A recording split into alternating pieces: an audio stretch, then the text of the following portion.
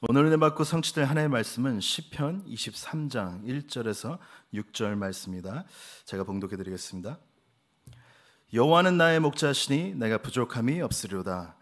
그가 나를 푸른 풀밭에 누이시며 쉴 만한 물가로 인도하시는도다. 내 영혼을 소생시키시고 자기 이름을 위하여 의의 길로 인도하시는도다. 내가 사망의 음침한 골짜기를 다닐지라도 해를 두려워하지 않을 것은 주께서 나와 함께 하심이라. 주의 지팡이와 막대기가 나를 안위하시나이다. 주께서 내 원수의 목전에서 내게 상을 차려 주시고 기름을 내 머리에 부으셨으니 내 잔이 넘치나이다. 내 평생의 선하심과 인자하심이 반드시 나를 따르니니 내가 여호와의 집에 영원히 살리로다. 아멘. 오늘 새벽에는 양의 고백이란 말씀의 제목을 말씀의 제목으로 말씀 나누도록 하겠습니다. 어, 무엇이든지 한번 체험하고 난 자는 어, 일을 체험하고 나기 때문에 뭔가 여유가 여유가 있는 것이죠.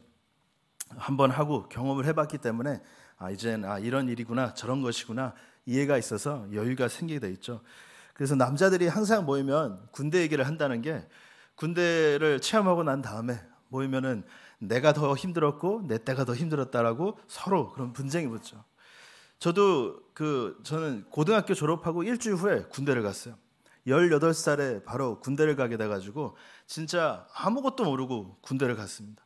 아무것도 모르고 군대를 갔는데 입장할 때 버스를 타고 딱 가요. 그 버스가 군대에 딱 도착하면요. 영어로는 drill instructor라고 하죠. DI라는 사람이 올라와가지고 버스 안에서 무서운 포스를 가지고 막 침을 튀면서 요 얼굴 앞까지 와서 막 얘기를 하요 빨리 빨리 내려 막 이제 그럼 막 정신없이 내립니다. 정신없이 내리고 나면 땅바닥에 노란색 발자국이 있어요. 그 발자국에 딱 쓰라고 그래요. 그러면 딱 앞도 보지 못하고 정신없이 줄을 서고 막 가고 있으면요. 줄을 서고 갔는데 한참을 줄 서 있다 보니까 머리를 깎는 줄이었어요. 머리를 깎고 또 한참을 가라 그래서 줄을 서서 있는데 막 옷을 다 벗더라고요. 군인복으로 갈아입는 줄입니다. 또 막 가라고 해서 줄 서서 있는데 무슨 보품을 받고요. 하여튼 정신없이 하루가 지나가요. 그리고 난 다음에 한 4시간 동안을 그렇게 땀을 흘리면서 막 정신없이 막 그 머리 잘라가지고 그 따끔따끔한 옷의 느낌 아시죠? 막 그런 불편함을 입고 있는데 갑자기 또 줄 서서 있는데 또 옷을 다 벗더니 샤워장으로 인도를 하는 거예요. 한 50명 처음 보는 남자들끼리 샤워장을 그냥 손 들고 물 켜놓으면 쭉 달려 한 번. 그게 씻는 거예요. 첫 야, 이건 뭐 짐승보다도 못하다는데 내가 도대체 여기 왜 왔지? 할 정도로 그렇게 어, 시간이 있었는데 뭐 한 주 지나고 두 주 지나고 적응을 하게 되더라고. 아 군대가 이런 데구나. 뭐 별거 없네. 그리고 이렇게 적응을 하고 하다 보니까 첫 번째 3개월 훈련이 눈 깜짝하니 끝나더라고요. 그리고 이제 첫 3개월 훈련을 마치고 나오면서 일주일 휴가를 받고 나오는데 딱 그 나오면 문 나오면서 보이는 게 뭐냐? 그 똑같은 버스를 타고 내리는 친구들이 딱 보이더라고요. 그래서 아 이거 고생 좀 하겠구나. 이렇게 갈 때와 나올 때의 그 여유가 딱 있는 이제 뭐 알았으니까요. 어, 뭐든지 그런 것 같습니다. 우리가 아무리 군대가 이렇다 저렇다 말을 들어도요. 체험하고 나온 사람하고 그냥 얘기 들은 사람, 영화를 본 사람하고는 다른 것입니다. 정말로 체험한 사람은요. 말씀을 붙잡고 말씀이 이렇다 저렇다 그냥 정리된 정도가 아니라 한 주간 그 말씀 때문에 말씀이 성취되고 나에게 답이 되는 체험한 사람은요 다를 수밖에 없습니다. 오늘 다윗의 고백을 보면요 다윗이 전부 다 오늘 본 말씀 모든 고백이요 한때 어려움을 겪다가 하나님이 나에게 목자 되심으로써 응답받은 그 모든 고백이 담겨 있는 고백인 것입니다. 여기서 말하면 부족함이 없다라고 고백하면요 부족함을 많이 체험한 거예요 다윗이. 뭐 이것저것 부족함이 많았는데 그리스도 안에서 복음 안에서 하나님이 나를 모든 것 부족함 없이 응답하신 그 하나님을 체험한 고백인 것입니다. 쉴 만한 물가로 인도한다는 고백은 뭐겠습니까? 쉬지 못하고 도망다닌 적이 많았다는 거예요. 누가 자기를 죽이려고 하고 숨어 있고요. 너무나도 어려운 상황 속에서 도망다니던 그 상황을 얘기하는 것입니다. 영혼을 소생시키시고 의의 길로 인도한다는 건 뭐냐? 우리가 요즘에 다윗에 대해서 많이 배웠지 않습니까? 그만큼 자기도 불의의 길로 간 적이 있고 죄를 범한 적이 있고 영적으로 무너졌던 시대가 있었다라는 걸 고백하는 거예요. 그러한 자기를 하나님께서 회복시키셨다. 두려워하지 않을 것은 뭡니까? 두려워하는 많은 일들을 겪어봤다라는 것입니다. 또 원수의 목전에서 쭉 나오죠. 그 말은 뭡니까? 전쟁 속에서 살아남지 못할 그런 상황 속에서도 하나님께서 나를 지켜주셨다. 정말로 체험하고 난 자의 믿음의 고백이 담긴 오늘 시편 23장의 고백인 것입니다. 우리가 너무나도 잘 아는 본문이지만 우리가 붙잡아야 될게 뭐냐? 말씀을 그냥 아는 정도가 아니라 말씀이 성취된 그 증인으로 서야 되는 것입니다. 증인의 고백은 다를 수밖에 없습니다. 그래서 지금 혹시 어렵고 힘든 문제가 있다면 오늘 다시 한번 고백하십니다. 정말로 나의 목자 되신 예수님을 체험할 수 있는 최고의 기회를 하나님이 나에게 주셨구나. 언약으로 붙잡으시면 됩니다. 기도 제목으로 여러분들 붙잡으시면 됩니다. 하나님이 정말로 나에게 heavenly mission을 주시려고 이 사건을 나에게 주셨구나. 이거를 감당할 수 있는 나에게 heavenly talent 하나님이 다 주셨구나. 그래서 이 일을 진행할 수 있는 heavenly power까지도 하나님께서 나에게 모든 것을 주시는 그 하나님을 체험한 믿음의 고백이 나올 수 있도록 언약 붙잡으시면 되겠습니다. 자, 오늘 말씀 제목처럼 양의 고백. 우리가 오늘 새벽부터 어떤 믿음의 고백을 해야 되는지 말씀으로 한번 확인해 보도록 하겠습니다. 첫 번째로 어, 어떤 고백을 해야 되냐? 충분하게 역사하신 하나님이라는 것을 고백해야 되겠습니다. 1절에 보니까 여호와는 나의 목자시니 내게 부족함이 없으리로다. 다윗은 오랜 세월 동안 어릴 어릴 때 어, 목자이라는 일을 하면서 양이 어떤 동물인지 잘 알고 있습니다. 양은요 정말로 연약한 동물입니다. 아무것도 혼자 할 수 없는 동물이 양이에요. 모든 게 목자가 목자 손에 달려 있어요. 양은 자기 자신을 보호할 수도 없고요. 제가 그 기사를 하나 읽었는데 어, 어떤 그 목수가 이제 경찰에 잡힌 거예요. 왜 그러냐니까 하룻밤 자고 일어났는데 자기가 키우는 89마리의 양이 죽은 거예요. 죽은 거예요.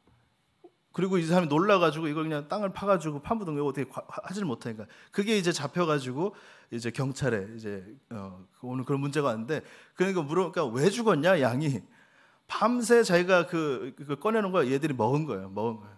어느 정도 먹었으니까 배가 터질 때까지 먹은 거예요. 그만큼 무능한 양이. 그러니까 목자가 뭐가 되냐? 못 먹도록 해줘야 되는 거야. 음식을 빼주고 못 먹도록.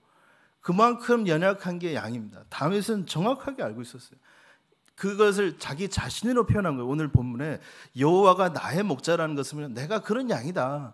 나는 아무것도 못하는 나는 아무것도 할 수 없는 내 능력으로는 내 힘과 내 파와 내 경험으로 나는 아무것도 할 수 없다라는 그 고백을 담긴 오늘 믿음의 고백을 한 것입니다. 그래서 이 고백 속에 뭐가 있냐? 나의 목자 되신 하나님이 어떤 분이신지 정확히 알고 있는 거예요, 다윗이. 나의 목자 되신 하나님이 나를 정확하게 보호하시고 있다는 것. 자기가 양들을 보호한 것처럼 하나님께서 완벽하게 나를 보호하신다는 그 하나님이 누구신지 정확히 알고 있었습니다.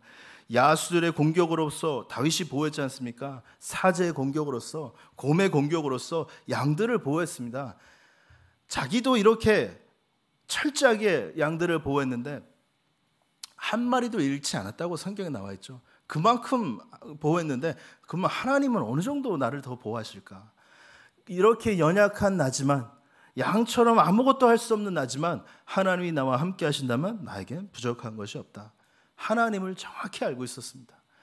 우리는 하나님의 자녀입니다, 여러분들. 하나님의 자녀로서 우리가 고백할 게 뭐가 있습니까? 나와 함께 하시는 하나님께서 충분하게 역사하신다. 부족한 것이 없다라는 고백이 나올 정도로 오늘 새벽부터 이 양의 고백, 믿음의 고백을 여러분들이 하셔야 되겠습니다. 그 목자 대신 하나님이 나를 보호하신다는 신분을 정확하게 알고 다윗이 있었습니다. 나를 인도하시는 하나님, 그 하나님 밑에 있는 하나님의 자녀, 이 두 가지 축복 속에서 충분하다는 거예요. 더 이상 필요한 것이 없다라는 그 믿음의 고백을 다윗이 하고 있는 것입니다. 충분하지 없다, 충분 충분하도록 역사하신다는 건 뭔가 부족함이 없이 역사하신다는 것입니다. 부족함 없이 역사하실 거야가 아니라 제가 아까 말씀드린 것처럼 부족함 없이 역사하신 하나님을 체험한 거예요, 다윗이. 정말로 여러분 다윗의 인생 보면 알잖아요. 골리앗과 싸워서 정말 높은 것도 체험했지만 그 시기와 질투로 도망다니고 어려움을 겪었습니다. 정말로. 그 많은 어려운 시설 속에서 하나님이 자기를 보호하시고 인도하시고 깨닫게 하시고 깨우치시고 이 복음을 보고 정말로 체험한 거예요. 이 복음 속에서 언약을 체험하고 한 다윗이 한 고백입니다. 부족함 없다. 여호와가 나의 목자, 나는 다 있다 그 안에. 그 고백을 한 것입니다. 그래서 어떻게 보면 성경에 나와 있는 중요한 응답받은 사람들이 보면요. 무엇을 체험한 것이냐? 하나님의 말씀을 듣고 끝난 것이 아니라 그 말씀 안에 증인으로 쓴 것입니다. 처음에 아브라함이 불렀을 때 어땠습니까? 절대 100% 순종이 아니었습니다. 자기 조카를 데려오고요. 거짓말을 하고요. 살아남기 위해서. 그러던 아브라함이 하나님 언약을 정확하게 믿고 하나님이 나와 함께 하심을 정확하게 믿고 나니까 자기 아들 이삭까지도 바칠 정도로 믿음이 생긴 것입니다. 그 어떤 문제도 문제되지 않다. 하나님이 반드시 역사하신다. 모세가 어땠습니까? 모세. 자기는 못한다 그랬잖아요. 나는 못한다. 난 말도 못하니 다른 사람 보내세요. 저는 못합니다. 계속 그랬거든요. 그렇던 모세가 지팡이 하나로 애굽을 꺾어버렸습니다. 왜요? 나와 함께 하시는 하나님을 체험한 거예요. 하나님이 함께 하시니까 정말로 되어지는 역사를 체험한 것입니다. 저도 제가 이해하지만 저는 뭐 앞에서 뭐 이렇게 말하는 거 자체를 잘 못해요. 사람들은 수줍음이 많아가지고 저도 뭐 이렇게 뭐 발표를 한다든가 뭐 그 그러잖아요. 그 앞에서 하는 앞에서 관중들 앞에서 뭐 하는 게 사람들이 제일 두려워한대요. 그거를 제일 그러니까 저는 그런 사람이에요. 앞에서 하는 걸 못해요. 근데 목사가 내가 설교를 해야 돼. 참 이런 걸 보면요, 제가 야 내가 어떻게 이렇게 하고 있지? 하나님 앞에서 어떻게 내가 강대에서 말씀을 전하고 있지? 야 하나님이 하시는 거구나. 하나님이 하시도록 나에게 힘을 주시는구나. 제 자신을 보면 절대 여기서 목사가 될 감이 아닙니다. 뭐 누가 목사가 될 감인지 모르겠는데 어쨌든 간에 깨달은 게 뭐냐? 아, 하나님이 나를 보셨고 하나님이 하시는구나. 나는 안 되는데 하나님이 하시는구나. 체험하셔야 돼요, 여러분들. 전도를 한다고 하잖아요. 전도로 나가서 전도를 하는데 그 친구들을 제가 옛날에 알던 친구들이 보면 탐? 탐 뭐하 탐 뭐하냐? 지금 목사 목사 기절합니다. 기절합니다. 왜? 알거든요. 그 친구들이. 제가 어떤 아이였고 어떤 삶을 살았고 어떤 사람인지 알고 있거든요. 근데 뭐 목사가 돼 가지고 뭐뭐 뭐 한다? 그 혹시 이상한 교회 아니야? 막 이러고 이상한 교회래. 막 이러잖아요. 근데 제가 체험한 그렇구나. 하나님이 다른 사람 제가 보고 알 정도로 야 하나님이 나를 바꾸셨다. 여러분들 나에게 먼저 증거가 있어야 돼요. 하나님이 나와 함께 부족함이 없다라는 그 믿음의 고백 안에서 내가 먼저 답이 있어야 되는 것입니다. 그 충분한 역사를 체험하고 나니까 당연히 두려움이 없어지는 것입니다. 담대해지는 것입니다. 당연 충분하게 역사에 하나님 체험할까 개인 동기 절대 쓰지 않습니다. 왜 하나님이 하실 건데. 그리고 다른 것을 의지하지 않습니다. 하나님만을 오로지 의지하게 되는 것입니다. 충분하게 역사하시는 하나님을 오늘 새벽부터 믿음의 고백으로 하시기 바랍니다. 자, 두 번째 보겠습니까? 충분하게 역사하십니다. 완전하게 역사하시는 하나님을 다윗이 고백한 것입니다. 2절 3절 보면 이렇게 나오죠. 그가 나를 푸른 풀밭에 누이시며 쉴 만한 물가로 인도하시는도다. 내 영혼을 소생시키시고 자기 이름을 위하여 의의 길로 인도하시는도다. 완전하게 인도하시는 하나님을 다윗은 체험한 것입니다. 그 아까도 말했듯이 양은요 정말로 무능한 동물입니다. 목자가 모든 것을 책임져야 됩니다. 계속 이끌고 새로운 초원으로 찾아다니며 물가로 인도해야 되는 것입니다. 아니면 양이 다 죽어요. 그렇기 때문에 모든 것을 전적으로 완벽하게 책임지는 게 목자입니다. 양에게 양에 무슨 일이 생겼다? 양에게 탓하지 않아요. 아유, 네가 못 해가지고 그 무능해가지고 그렇지 않아요. 전적으로 목자한테 책임이 가는 거예요. 근데 우리의 목자가 누구십니까? 하나님이십니다. 하나님. 절대 걱정하실 게 없어요. 부족함도 없고 모자란 것이 없습니다. 완벽하게 완전하게 책임지시는 하나님이세요. 그 믿음의 고백을 오늘 하는 것입니다. 여기서 그러니까 내 영혼을 소생시키신다 그랬어요. 하나님이 어느 정도 완전하게 여러분들 삶께서 역사하십니까? 성령 충만함으로 성령 인도하심으로써 성령으로 역사하시면서 우리 영혼을 완전히 회복시키십니다. 그 지금 계속 말씀할 때 나오는 헤블린 파워 얘기 나오고 있잖아요. 하나님이 여러분들 힘을 주시는데 그 힘으로 모든 걸 진행할 수 있다는 믿음의 고백을 하는 것입니다. 내 힘으로 안 되지만 하나님이 주시는 그 힘으로 가능하다는 믿음의 고백이 나오는 것입니다.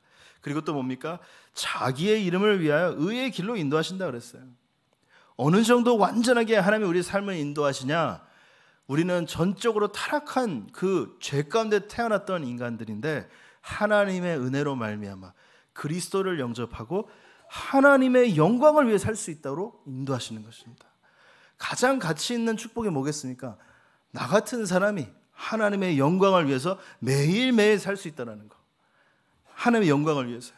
절대 영광의 근처에도 가지 못하는데 모든 사람의 죄를 보면서 하나님의 영광 이르지 못하는 그 신분이었는데 하나님의 은혜로 매일매일 하나님의 영광 속에서 살 수 있도록 하나님께서 완전하게 역사하시는 것입니다.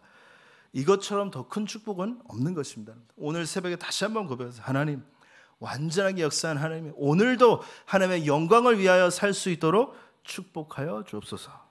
그 믿음의 고백 속에서 있는 것입니다. 우리가 어떤 고백을 하냐가 그만큼 중요한 것입니다.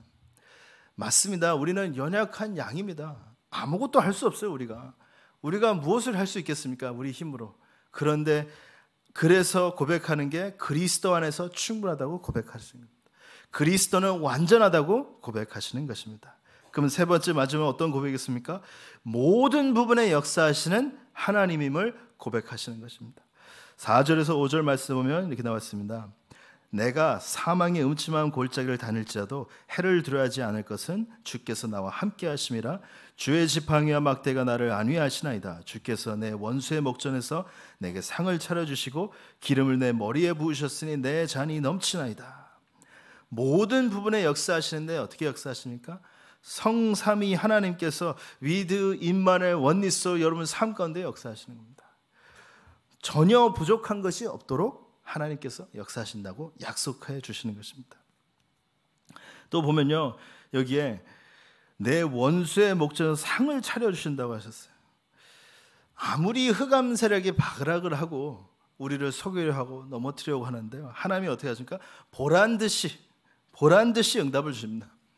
보란 듯이 사단이 역사하는 보란 듯이 증인으로 만드십니다. 다윗이 이런 고백을 할 수 있었던 과정이 뭐라고 말했습니까? 제 서론에 이런 어려움을 다 겪어봤다라니까요. 실패도 해봤고요. 넘어지기도 해봤고요. 배고픔도 있었고요. 어려움도 다 있었는데 사단을 한번 무너뜨리려고 역사를 계속했는데 최고의 왕이 만들어지는 과정으로 하나님께서 바꾸셨어요. 그만큼 보란 듯이 하나님께서 응답해 주실 것입니다. 뭐만 하면 되니까 믿음의 언약을 하나만 붙잡고 있으면 돼요. 그 언약을 붙잡고 믿음의 고백만 하고 있으면요. 여러분들은 하나님께서 이러한 부분의 응답으로 축복으로 넘치게 하신다고 약속해 주시는 것입니다.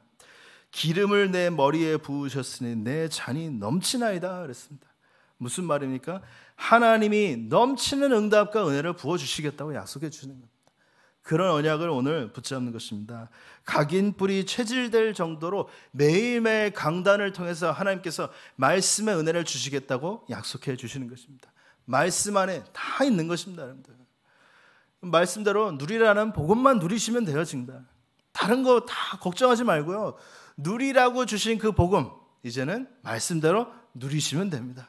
하나님 정말 누리는 삶을 삶으로 인도해 주시오. 눌린 삶이 아니라 누리는 삶. 언약대로 언약대로 고백하면요. 그 고백 안에 최고의 응답으로 나에게 돌아오게 되어 있는 것입니다. 오늘 말씀을 정리하면 충분하게 역사하시고 완전하게 역사하시고 모든 부분에 역사하시는 하나님 정리하면 이렇게 고백할 수 있습니다. 모든 문제는 기회다. 이렇게 붙잡으시면 돼요. 완전하게 역사하시기 때문에 문제가 문제가 되지 않습니다. 모든 문제는 기회가 되는 것입니다. 다윗에게는요, 부족함 없이 완벽한 축복으로 인도하신 하나님을 체험할 수 있는 기회가 된 것이죠. 다윗에게는요, 영육간에 회복시키는 하나님을 체험할 수 있는 기회가 된 것입니다. 어려움 속에서 하나님이 함께 하시고 역사하시고 모든 흑암을 무너뜨리는 그 체험을 하시는 최고의 기회가 된 것입니다. 오늘 말씀대로 양의 고백 맞습니다. 우리는 연약합니다. 할 수 없습니다. 그런데 승리할 수 있는 하나님, 목자 되신 하나님께서 언약으로 말씀으로 함께 하시고 계십니다. 성삼이 하나님께 지금도 역사하시면서 승리할 수밖에 없는 축복 속으로 인도하고 계신 것입니다. 믿음의 고백으로 승리하시는 최고의 축복 속으로 들어오시길 예수님으로 축복드립니다.